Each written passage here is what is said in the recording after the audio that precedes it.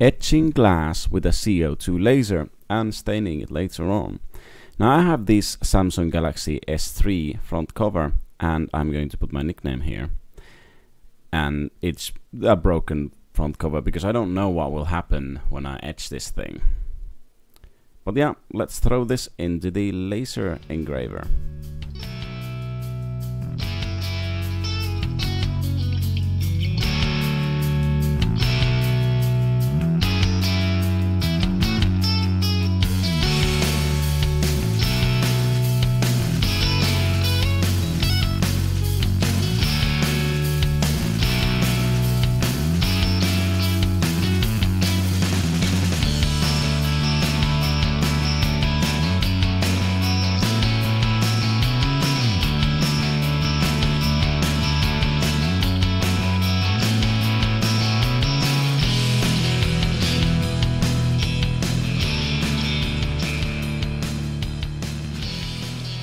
Now that the etching is done, let's see the results. Okay, it seems that there are no cracks and there's a definite nice color to it. It's kind of hard to see on camera because you need to have something behind it. But there's a definite text there and it looks okay for with naked eye. And here we can see it a little bit better when we use a light source to shine it. Now after this I'm going to stain this thing using some acrylic gesso and some acrylic ivory black. Now let's get going with the staining.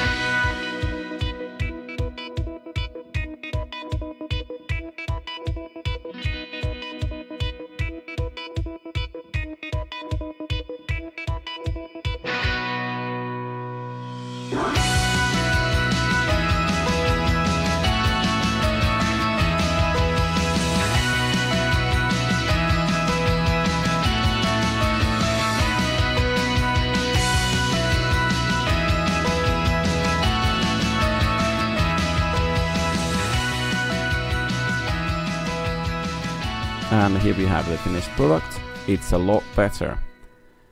But based on my very basic scratch test this seems to work fine. It's not coming off immediately. And with that I'll see you next time